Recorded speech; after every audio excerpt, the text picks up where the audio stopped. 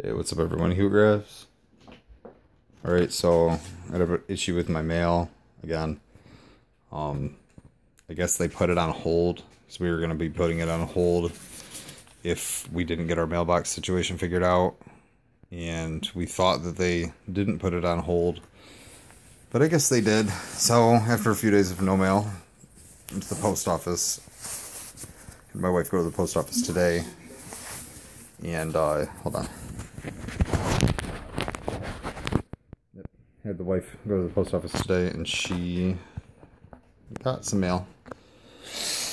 That and I picked up a right pack of Allen and Ginter. Nothing real special, but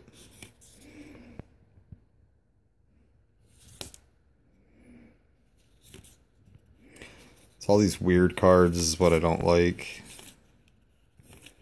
The non uh baseball related. I mean, that's neat, but it's not going to help me with the TTM or anything.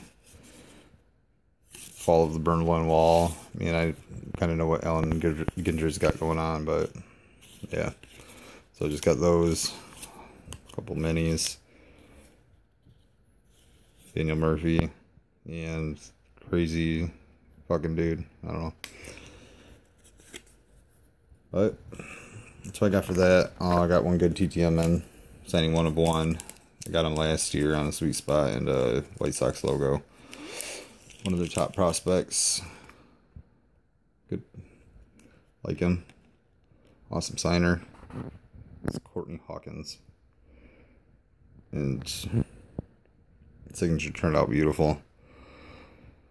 So all in all, terrific success. It's on the 13 Bowman. Um, yeah.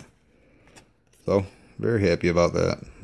Pretty sure I got him through the Barons, maybe. I don't know. But uh, also one other thing, I have to get rid of a bunch of my stuff. Just don't have enough room at the new place. So um, I'm have a link my eBay below.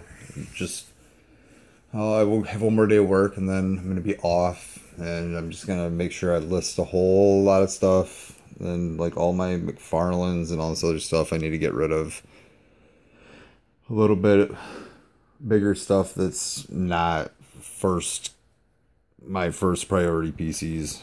So yep, if you're interested, take a look. Um my my user I'll I'll link my either my site or just put down my my seller's name. So that's what I got for you. Huyck Graphs out later.